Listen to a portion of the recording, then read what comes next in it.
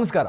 ನಾವು ನೋಡೋ ಸುದ್ದಿಗೂ, ನೀವು ನೋಡೋ ಸುದ್ದಿಗೂ, ಹಾಗೂ ಜಗತ್ತು ನೋಡೋ ಸುದ್ದಿಗೂ ಸಾಕಷ್ಟು ವ್ಯತ್ಯಾಸ ಇರುತ್ತೆ. ಹಾಗೆ ಪ್ರತಿಯೊಂದು ಸುದ್ದಿಗೂ ಒಂದು ಅಂತರಂಗ ಇರುತ್ತೆ. ಆ ಸುದ್ದಿಯ ಅಂತರಂಗವನ್ನು ನಿಮ್ಮೆದುರಿಗೆ ಇಡೋ ಪ್ರಯತ್ನವೇ ಅಂತರಂಗ ಸುದ್ದಿ. ನಾನು ನಿಮ್ಮ ಕಿರಿಕೀರ್ತಿ ಈ ದೇಶ ಸಾಕಷ್ಟು ಜನಕ್ಕೆ ಸಾಕಷ್ಟು ಕೊಟ್ಟಿದೆ. ಆದರೆ ಅದಕ್ಕೊಂದು ಏನಂತಾರೆ? ಇಷ್ಟೆಲ್ಲ ಮಾಡ್ತಾ ಇದೆ. ಇಲ್ಲಿನ ಅನ್ನ, ಇಲ್ಲಿನ ಗಾಳಿ, ಇಲ್ಲಿನ ನೀರು ಎಲ್ಲ ಸೇವಿಸ್ತಾ ಇದ್ದೀವಿ ಇಲ್ಲೇ ಸಂಬಳ ತೊಗೋತೀವಿ. ಅದರಲ್ಲೂ ಸರ್ಕಾರ, ಸರ್ಕಾರಿ ಕೆಲಸ ಸಿಕ್ಕಿ ಅದರಲ್ಲೊಂದು ಸಂಬಳ ತೊಗೊಳೋದಿದೆಯಲ್ಲ, ಆ ಖುಷಿನೇ ಕೆಲವರಿಗೆ ಬೇರೆ. ಅಷ್ಟೆಲ್ಲ ಇದ್ದರೂ ಪ್ರತಿಫಲವಾಗಿ ದೇಶಕ್ಕೇನೋ ಒಳ್ಳೇದು ಮಾಡಬೇಕು ಅನ್ನೋ ಮನಸ್ಥಿತಿ ಇಲ್ದಿದ್ರೆ ತುಂಬ ಕಷ್ಟ ಆಗುತ್ತೆ. ಅಂತಹ ಕೆಲವು ಕ್ರಿಮಿ ಕೀಟಗಳು ಈ ದೇಶದೊಳಗೆ ಸೇರಿಕೊಂಡಿದೆ. ಅಂತಹ ಒಂದು ಕ್ರಿಮಿಯ ಬಗ್ಗೆ ನಾನು ಇವತ್ತು ನಿಮಗೆ ಹೇಳ್ತೀನಿ. ಇದು ಅಸ್ಸಾಂನ ಕತೆ. ವಿಷಯ ಅಸ್ಸಾಂದಾದ್ರೂ ಇದು ದೇಶದ ಮೂಲೆ ಮೂಲೆಗೆ ವ್ಯಾಪಿಸಬೇಕು, ಹಬ್ಬಿಸಬೇಕು ಅನ್ನುವ ಕಾರಣಕ್ಕೆ ನಮ್ಮ ಕರ್ನಾಟಕದ ಜನರಿಗೂ ಅವ್ರ ಬಗ್ಗೆ ಹೇಳ್ತಾ ಇದ್ದೀನಿ. ಎಂತೆಂಥವರೆಲ್ಲ ಇರ್ತಾರೆ ನೋಡಿ ಅಂತ. ಈ ಮನುಷ್ಯನ ಹೆಸರು ರೌನಕಲ್ಲಿ ಹಜಾರಿಕಾ ಅಂತ. ಈ ಮನುಷ್ಯ I P S officer, retired D I G, ಅಸ್ಸಾಂನಲ್ಲಿ. ಈ ಮನುಷ್ಯನನ್ನು ಕಳೆದ ಅಕ್ಟೋಬರ್ ಐದನೇ ತಾರೀಕು ತನ್ನ ಮನೆಯಲ್ಲಿ ಆ ಮನುಷ್ಯ ಇದ್ದಾಗಲೇ ಪೊಲೀಸರು, ಅಂದರೆ ಅದರಲ್ಲೂ ಸ್ಪೆಷಲ್ ವಿಜಿಲೆನ್ಸ್ ಟೀಮ್ ಸಿ ಎಮ್ನ ಸ್ಪೆಷಲ್ ವಿಜಿಲೆನ್ಸ್ ಟೀಮ್ ಇವ್ರನ್ನ ಅರೆಸ್ಟ್ ಮಾಡುತ್ತೆ. ಕಾರಣ ಸಾಕಷ್ಟಿದೆ. ಒಂದು, ಸಾವಿರದ ಒಂಬೈನೂರ ತೊಂಬತ್ತೊಂದರಲ್ಲಿ ಇವರು ಕೆಲಸಕ್ಕೆ ಸೇರಿ ಎರಡು ಸಾವಿರದ ಇಪ್ಪತ್ತೊಂದರವರೆಗೆ ಮಾಡಿರುವ ಆಸ್ತಿ, ಅವ್ರಿಗೆ ಬರೋ ಸಂಬಳ ಮತ್ತು ಆಸ್ತಿಯನ್ನು ಮ್ಯಾಚ್ ಮಾಡಿದ್ರೆ ಹತ್ರಕ್ಕೆ ಹತ್ರಕ್ಕೆ ಸಂಬಂಧನೇ ಇಲ್ಲ.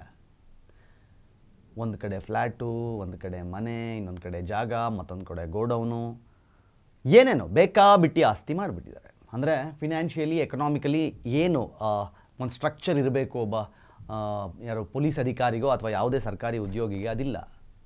ತನ್ನ ಆದಾಯಕ್ಕಿಂತ ಹೆಚ್ಚಿನ ಅಕ್ರಮ ಆಸ್ತಿ ಪತ್ತೆಯಾಯಿತು ನಿಮಗೆ ಗೊತ್ತಿರಲಿ, ಅವರ ಸಣ್ಣ, ಅಂದರೆ ಪುಟ್ಟ ಪುಟ್ಟ ಮಕ್ಕಳ ವಿದ್ಯಾಭ್ಯಾಸಕ್ಕೆ ಮನುಷ್ಯ ಖರ್ಚು ಮಾಡಿರೋದು ಒಂದು ಪಾಯಿಂಟ್ ಏಳು ನಾಲ್ಕು ಕೋಟಿ, ಅಂದರೆ ಒಂದು ಕೋಟಿ ಎಪ್ಪತ್ನಾಲ್ಕು ಲಕ್ಷ ರೂಪಾಯಿ. ಇದು ಆನ್ ಪೇಪರ್ ಎಲ್ಲಿಂದ ಬಂತು ಇಷ್ಟು ದುಡ್ಡು? ಇದೆಲ್ಲ ಓಕೆ.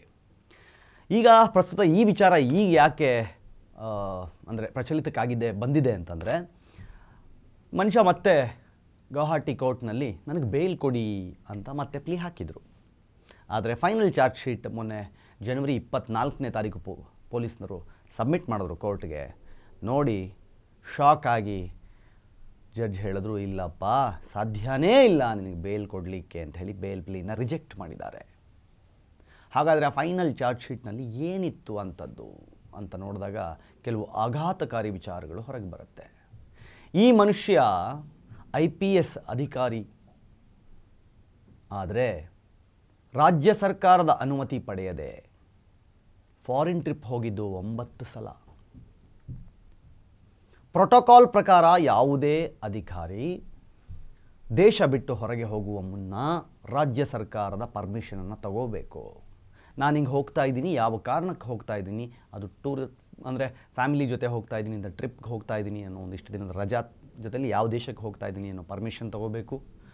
ಕಾರ್ಯನಿಮಿತ್ತ ಹೋಗ್ತಾ ಇದ್ದರೆ ಅದಕ್ಕೆ ರಾಜ್ಯ ಸರ್ಕಾರವೇ ಕಳಿಸ್ಕೊಡುತ್ತೆ. ಹೀಗೆಲ್ಲ ಬೇರೆ ಬೇರೆ ಇರುತ್ತೆ. ಆದರೆ ಪ್ರೋಟೋಕಾಲ್ ಪ್ರಕಾರ ಯಾವುದೇ ವಿದೇಶಿ ಯಾತ್ರೆ ಅಥವಾ ವಿದೇಶಕ್ಕೆ ಹೋಗೋಕ್ಕೆ ಮುಂಚೆ ಪರ್ಮಿಷನ್ ತಗೋಬೇಕು. ಆ ಮನುಷ್ಯ ಅದನ್ನು ಒಂದು ಸಲವೂ ಮಾಡಿಲ್ಲ. ಅವರ ಪಾಸ್ಪೋರ್ಟ್ ನೋಡಿದ್ರೆ ಅದರಲ್ಲಿ ಒಂಬತ್ತು ಸಲ ಬೇರೆ ಬೇರೆ ದೇಶಗಳಿಗೆ ಹೋಗಿ ಬಂದಿದ್ದಾರೆ. ಹೋಗಲಿ ಬಿಡ್ರಿ, ಅವ್ರ ದುಡ್ಡು ಅವ್ರ ಇಷ್ಟ ಅಂತ ನೀವು ಹೇಳಬಹುದು. ಒಂದು ಕಡೆ ಅಕ್ರಮ ಆಸ್ತಿ, ಒಂದು ಕಡೆ ಬ್ಯಾಂಕ್ನ ಖಾತೆಯಲ್ಲಿ ಕೋಟಿ ಕೋಟಿ ದುಡ್ಡು, ಮತ್ತೊಂದು ಕಡೆ ಮಕ್ಕಳ ಎಜುಕೇಷನ್ಗೆ ಅಂತಲೇ ಕೋಟ್ಯಾಂತರ ರೂಪಾಯಿ ಖರ್ಚು.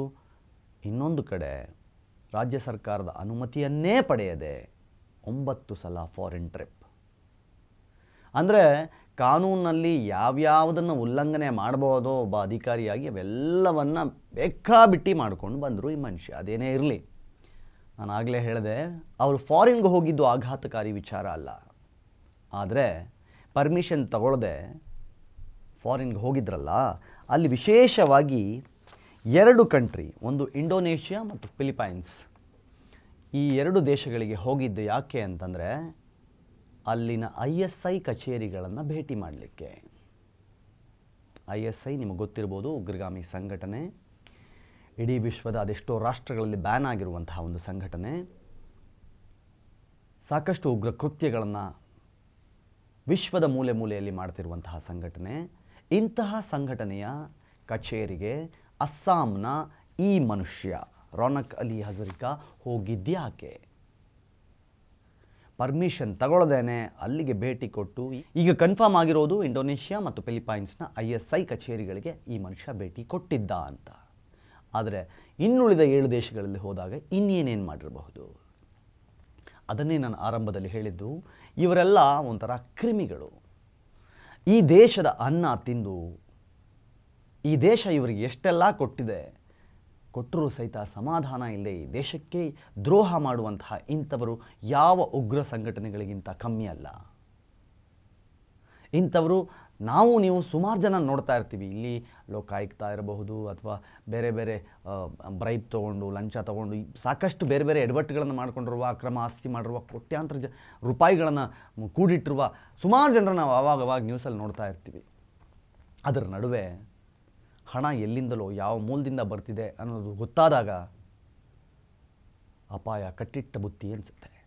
ವಿದೇಶಗಳಿಂದ ತನ್ನ ಖಾತೆಗೆ ಹಣ ತರಿಸ್ಕೊಂಡು ಆ ಹಣವನ್ನು ಇಲ್ಲಿ ಬೇರೆ ಬೇರೆ ರಾಷ್ಟ್ರ ವಿರೋಧಿ ಕುಕೃತ್ಯಗಳಿಗೆ ತೊಡಗಿಸ್ಕೊಳ್ಳೋದು ಎಷ್ಟರ ಮಟ್ಟಿಗೆ ಸರಿ? ಮನಸ್ಸಾದರೂ ಹೇಗೆ ಒಪ್ಪುತ್ತೆ?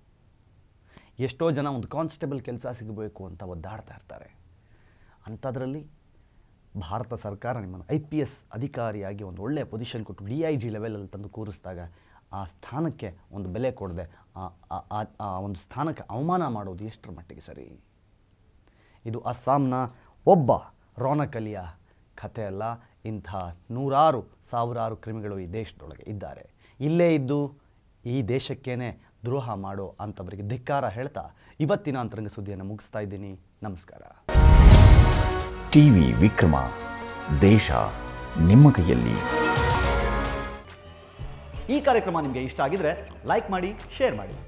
ಟಿವಿ ವಿಕ್ರಮದ ಕಾರ್ಯಕ್ರಮವನ್ನು ನಿರಂತರವಾಗಿ ವೀಕ್ಷಿಸಲು ಸಬ್ಸ್ಕ್ರೈಬ್ ಮಾಡಿ, ಬೆಲ್ ಬಟನ್ ಒತ್ತಿ.